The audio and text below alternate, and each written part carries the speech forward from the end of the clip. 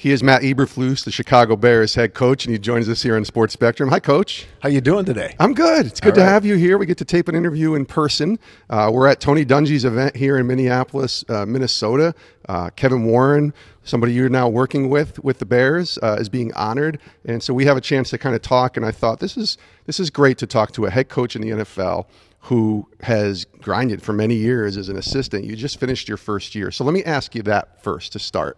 What is a lesson or lessons that God maybe showed you as you went through that first season Right. with the Bears as a head coach?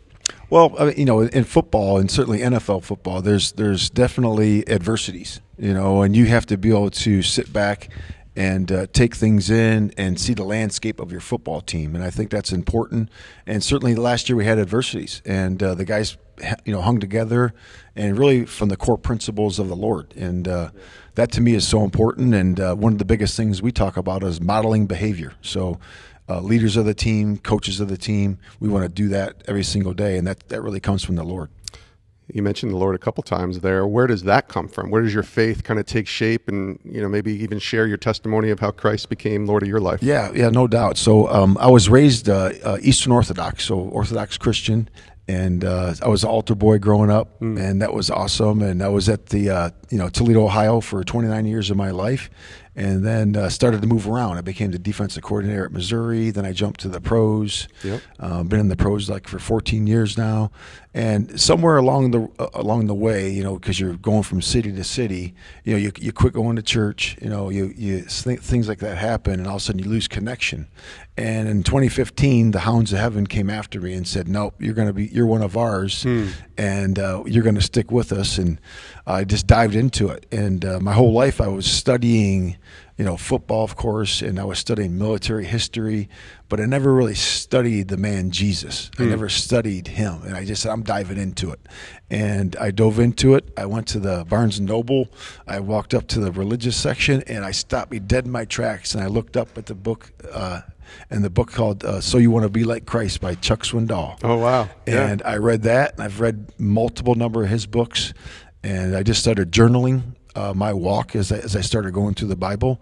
And about seven years ago, I started doing the one year Bible, so I've done it seven times now. Wow. And uh, so that's where it's been, and it's remarkable um, how he clean, you know, cleanses you, and how you change from the inside out and you can affect other people. I hooked up with Coach Dungy and his coaches fellowship uh, about that same time, which is really cool.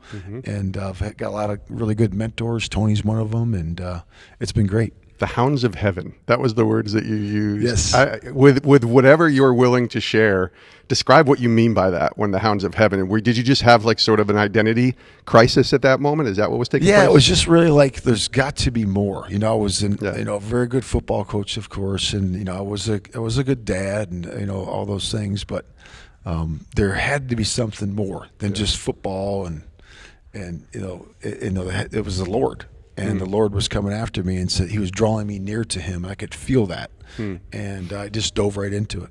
You had Frank Reich uh, as a head coach for a couple years, Yeah. and I know. I mean, he went to seminary, so you're talking to a pastor basically, who's your head coach. How much of an influence was he? He was great. Uh, what Frank taught me was you can be yourself. You can be a Christian man in the building and be the same guy every day, and uh, you don't have to put on any other any other skin. You can just be with the Lord the entire time. It, it really simplified things for me. We're talking to Matt Eberflus from the Chicago Bears here on Sports Spectrum. How does learning about Christ, learning about the man Christ, now influence you in the role that you have today?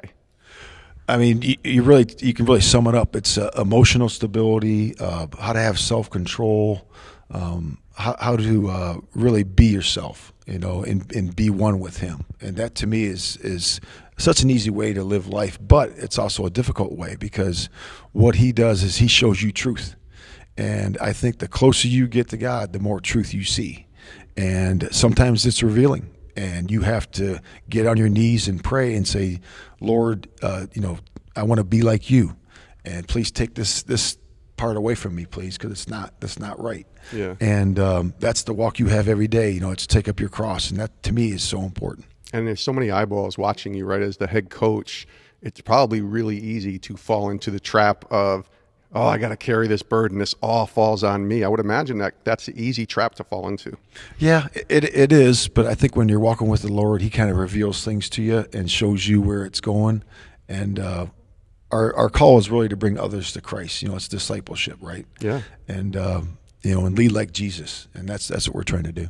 So you have Kevin Warren here being honored with this Uncommon Award. You have Coach Dungy writing the book, really, the playbook on living a life of uncommon. So when I say that word to you now, where you are today, what's that mean to you? You know, it's it's everything, and I got two great examples. You know, in Kevin and Tony uh, to really uh, you know talk to, visit with, you know, about how to do it the right way, and uh, you certainly see that through the course of those guys' career um, and and the impact they've had on lives. And I, I think that's so, uh, so, such a great example for me uh, to work hand in hand with Kevin now on a day to day basis, and of course uh, uh, having Tony as a mentor. He uh, mentioned last night, and I know you mentioned as well at the dinner we were at about the importance of discipleship.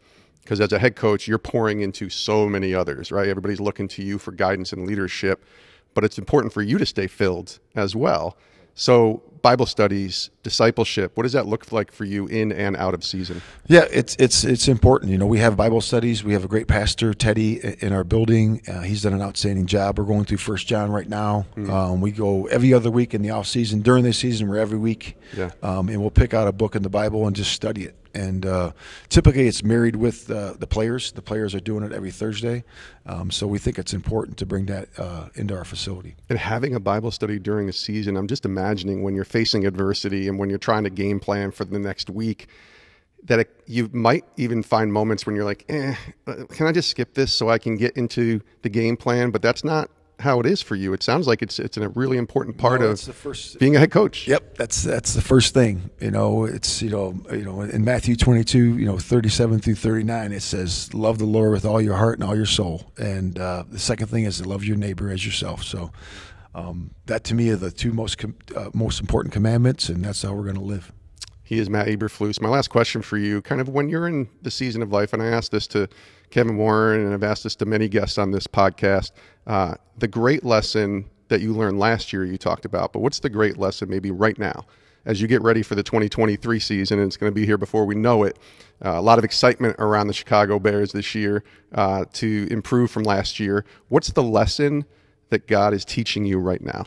Yeah, to bring these guys together. You know, mm. so it's to me, it's all about uh, respect when you respect your fellow man, um, the way you speak, the way you act, the way you talk to each other is so important.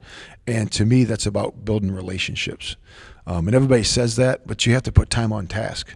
Um, you can't just say, "Hey, just I want you guys to hang out." You know, so we're going to spend a lot of time getting to know each other.